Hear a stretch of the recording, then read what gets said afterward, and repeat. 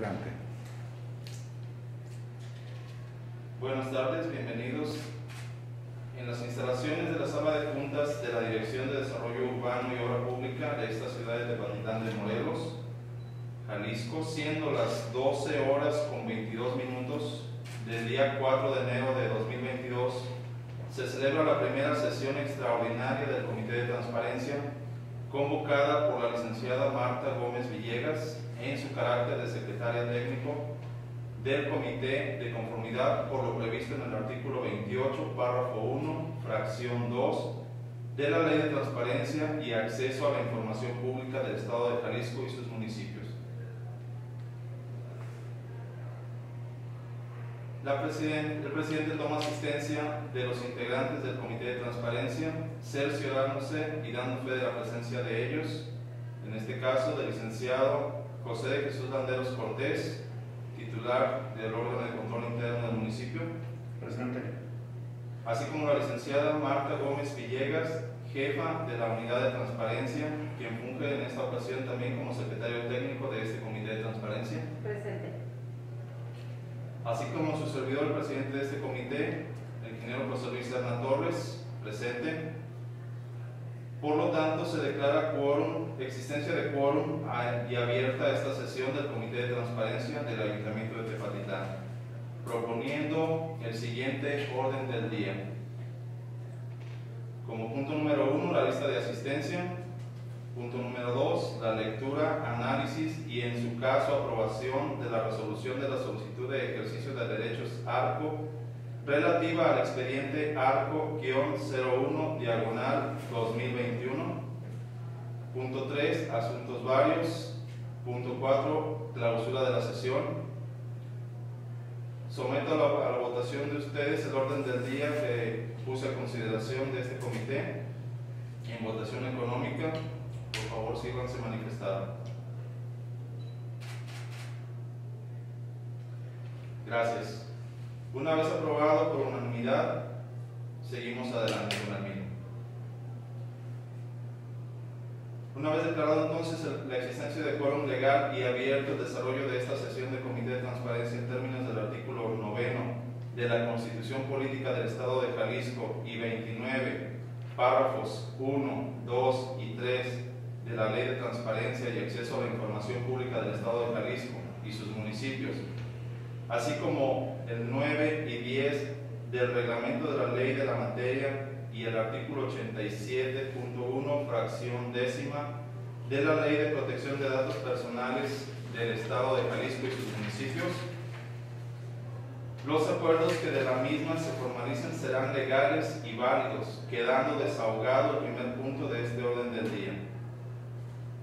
Para el desahogo del segundo punto del orden del día relativo a la lectura, análisis y en su caso aprobación de la resolución de la solicitud de ejercicio de derechos ARCO relativa al expediente ARCO-01 diagonal 2021, solicito a la secretaria técnico de este comité, quien se desempeña como jefa de la unidad de transparencia, que exponga y diera desahogo a lo relativo al punto 2 de la presente sesión, por lo que le cedo el uso de la voz. Adelante. Gracias. Para resolver en definitiva las constancias que integran el expediente ARCO UT.01 diagonal 2021 sobre la existencia de la información solicitada y la procedencia en su caso de la solicitud de derechos de ejercicio ARCO del ciudadano solicitante y los resultandos primero que con fecha 22 de diciembre del presente año se presentó por comparecencia personal ante esta unidad de transparencia la solicitud de ejercicio de derechos ARCO del ciudadano solicitante mediante la cual requiere el acceso de su información confidencial misma que a la letra se transcribe. Copia de la nómina de los años 1997 al 15 de mayo de 1999. Segundo, que dicha solicitud fue registrada con el expediente ARCO 01 diagonal 2021. Tercero, una vez analizada, se advirtió que cumplió con la totalidad de requisitos que señala la ley. Y en los considerandos, En el sentido de la resolución, en el punto 5, da respuesta a la solicitud de ejercicios de derecho de ARCO por así permitirlo el Estado procesal, con fundamento en los artículos 59, numeral 1 y 60 de la ley, se da respuesta a la solicitud que hoy nos ocupa en sentido procedente. Bajo este contexto, se autoriza la reproducción y entrega de las copias simples de las nóminas remitidas por el oficial mayor administrativo y que van en un total de 51 hojas, las primeras 20 hojas sin costo alguno, con fundamento en lo previsto por el artículo 25, numeral 1, fracción 30 de la ley. Asimismo, del resto de la información consistente en 31 hojas, previo pago por el monto de costo previstos en la Ley de Ingresos del municipio de Tepatitlán de Morelos para el ejercicio fiscal 2022. Lo anterior en versión pública, es decir, con los datos personales protegidos, como lo es nombre, firma, monto y demás análogos, cuya titularidad corresponde a un particular de conformidad en lo dispuesto por los artículos 19 de las leyes en materia. Toda vez de las hojas de nómina se desprende más de un servidor público. Toda vez que de las hojas de nómina se desprende más de un servidor público. Por lo que se resuelve la personalidad del solicitante, la personalidad del solicitante, la competencia de este gobierno municipal y la facultad del Comité de Transparencia, resultando adecuados en atención a lo señalado en los considerandos 2, 3 y 4 de la presente respuesta. Se da respuesta a la solicitud que hoy nos ocupa en sentido procedente por los motivos y fundamentos expuestos en el considerando 5 de conformidad con el artículo 60 de la ley. La identidad de la titular quedó debidamente acreditada en el momento de la presentación de la solicitud, de conformidad con el artículo 48, numeral 1 de la ley. 4. Se autoriza la entrega de la información en versión pública en copias simples de la siguiente manera. Las primeras 20 hojas sin costo alguno, con fundamento en lo previsto por el artículo 25, numeral 1, fracción 30 de la ley, en virtud de que no exceden de 20 hojas. El resto de la información previo pago por la recuperación de los materiales previsto por la Ley de Ingresos del municipio de Tepatitlán de Morelos, Jalisco, para el ejercicio 2022. Todo. Bien. Consideremos entonces lo anteriormente leído y manifestemos nuestra decisión votando a favor o en contra de esta situación. Les pido su manifieste su voto levantando su mano si a favor.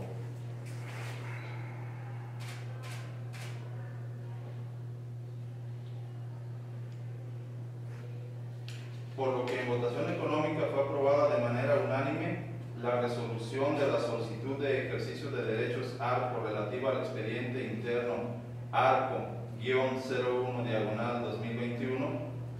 Acto seguido se firma el acta de la sesión por todos los integrantes de este comité. Procedemos a plasmar nuestra firma.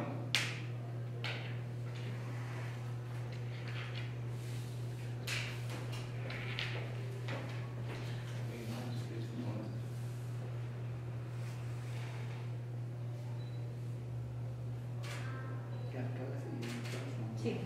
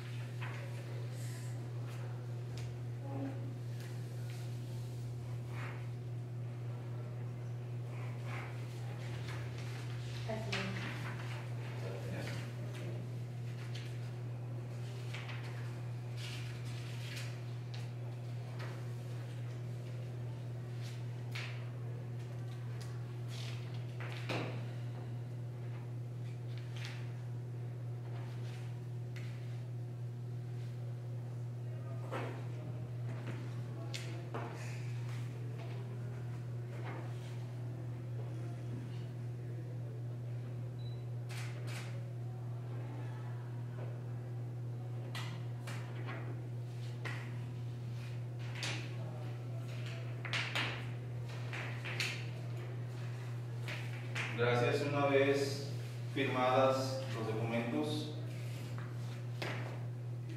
yo, José Luis Serna Torres, presidente de este comité, la instruyo a usted, secretaria técnica licenciada Marta Gómez, para que lleve a cabo las gestiones necesarias para la notificación de la presente resolución a la solicitante a través de los medios legales correspondientes. En lo que respecta al tercer punto del orden del día, pregunto si hay puntos a tratar como puntos varios en esta sesión. De mi parte no. Al no haber asuntos más pues que tratar, será por clausurada la primera sesión extraordinaria de este Comité Técnico de Transparencia de este Gobierno Municipal, siendo las 12 horas con 35 minutos del día 4 de enero de 2022. Cerramos con esto la sesión.